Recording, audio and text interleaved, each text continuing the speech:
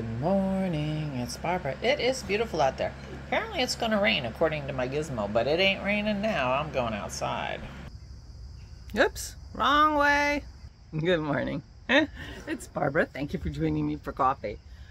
Oh, it's beautiful out here. The only cloud is the contrail. I don't know why it thinks it's going to rain. Maybe it's going to rain later. I don't know. Good morning. It's Barbara. It's a little earlier than I have been lately because we're expecting Dennis's nephew, Jason, to come and hang out with his grandmother and his aunts and uncle and me. I guess I'm an aunt. I guess I'm an aunt. Um, soon, although he's always late, so we're not, you know, holding our breath. But anyway, meanwhile, good morning. Uh, bright sunny day. Nothing like it. Yeah. So, of course, I didn't do anything with the table yesterday, so I will be puttering on the table today because we're going to have dinner, dinner at that table tonight, so it has to be clear. And I really would like to um, not just pile everything in a bag, which would be my typical. But I'm not making any promises. I may end up with a bag. I did do a little organizing on it this morning before I started talking to you. So that's my goal today. And I'm going to be helping Dennis with dinner. He's making moqueca, which is the uh, Brazilian um, fish stew that is delicious. And I'm pretty sure we had it last time Jason was here, but it's been a while, so he probably hasn't had moqueca since then and uh, so I'll help with that. And Pearl needs her injection into her knee and I will be taking her to the vet so Dennis can cook. I would rather do that than cook. I'm pretty sure. Although I will be making probably be making popovers. So that's the deal here. So Vicky and Kim came actually latish in the afternoon um, or I had already started her food thing. They went out to lunch and did some shopping, I guess, and whatever. So I had plenty of time to clear the table. I did go shopping. I went shopping yesterday.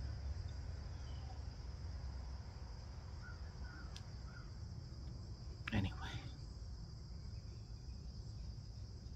But it is very nice out here. So I might uh, sweep. Might have to sweep off the chairs to get the leaves off the chairs. But it's starting to really feel like fall around here.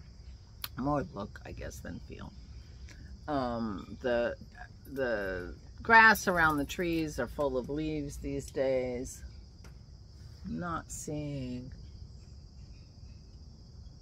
our red maple has not started changing, but if you look around the other trees, they're starting to, at the top, start to look, you know, fallish. The leaves are starting to be brown on the edges and stuff. So things are, things are happening.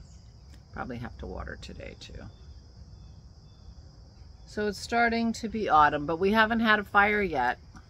We usually don't have our first fire till October so it's early days yet. What is it today? The 19th. 19th.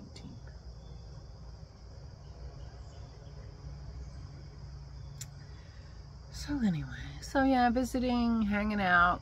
That's my plan. Go to the vet. Clear the table. That's my daily, my daily plan. And that, except for the vet, that's been my plan for a week and a half, right? So maybe I'll actually clear it today. But I did, I've got some things that I'm going to take with me when I go to State College from my mom's memorial, things to give to my family. And, uh, yeah. Finish that table. But I got a email from the lawyer yesterday with copies, you know, pictures of